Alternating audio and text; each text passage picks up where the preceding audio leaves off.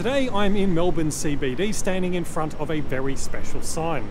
The reason that I'm excited about this particular sign is that it's one of the few left anywhere in the city which still has these markings in the bottom right hand corner. They are in fact remnants of Melbourne's postal district numbers, which today we know as postcodes. So what are these and what do they mean? Let's find out in today's video. Using letters and numbers to identify different geographic areas for delivering mail is a relatively new idea. As the world's population rapidly increased and urbanised throughout the 19th century, postal delivery became more complicated. There were simply more streets and properties in larger and larger cities, which made it difficult for deliveries to find the correct destination. This was the case in Victoria until surprisingly recently. In 1923, the Postmaster General's Department of Victoria introduced a plan that divided Melbourne into postal districts, indicated by a seemingly random number. In just a few years, the number of districts had rapidly expanded from just 12 to 55, Pascoe Vale being the last one added before the end of this system in 1928. This was when the Postmaster General's Department decided on a different method of classifying different areas, Rather than just relying on numbers, it would use a combination of letters and numbers that was based on London's postal district system.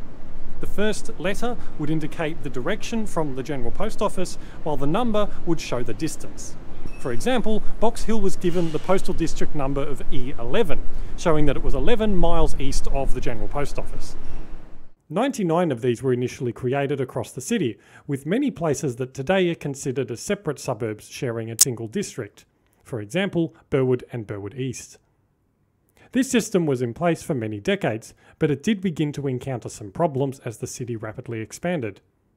Because there was a lot of overlap between different suburbs in their distance and direction, it was sometimes hard to use because a single number had to be used across large areas.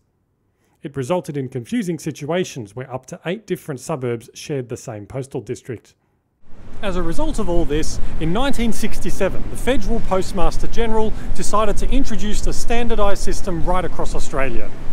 At the time, different states and different cities were using completely different systems, so this made a lot of sense. You may have seen many pit covers and other infrastructure stamped with the letters PMG. Well, this was the same department. This was just one year after the decimalisation of Australia's currency, and was part of this broader program to standardise and reorganise systems around Australia. The PMG department implemented the system that we are familiar with today, using four digit numbers to indicate different areas. The new postcodes were rolled out very quickly, and within just a year, more than three quarters of Australia were using the new system. This was used as an opportunity to amalgamate or otherwise tidy up some of the smaller suburbs and localities across Melbourne, for example, Barker was incorporated into Hawthorn, Castlefield into Hampton, and Robinson into Braybrook. Many of these names live on today, just not as official suburbs. There are heaps of schools, medical centres, shops, and other places that use these names as a local reference point. So this all brings us back to this street sign right behind me, and hopefully you can see where this is going.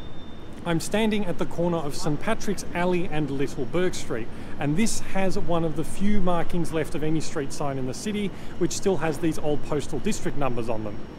And as you can see here, this is one of the few street signs left with the marking C1 on it. These are the earlier postal district numbers that we talked about from 1928. The C means central, and the 1 is the distance from the General Post Office. Almost all of these street signs are now gone, but a few of them like this one still survive. I don't know if this is just by accident or if they have some kind of heritage value. Nevertheless, I think a lot of them should still be preserved as a nod to this important part of Melbourne's history. As an added bonus, you can also see some newer street signs with the four digit number postcode still on them. This one behind me at Fleming Place off Little Collins Street is one of those left behind. So as you're out and about and around Melbourne, make sure you keep one eye on the street signs because you never know what you might find. Thanks for watching. If you enjoyed this and would like to see more, please subscribe to the channel so that you can stay up to date on future videos. Also feel free to visit my website at philipmallis.com. Thanks again and I'll see you next time.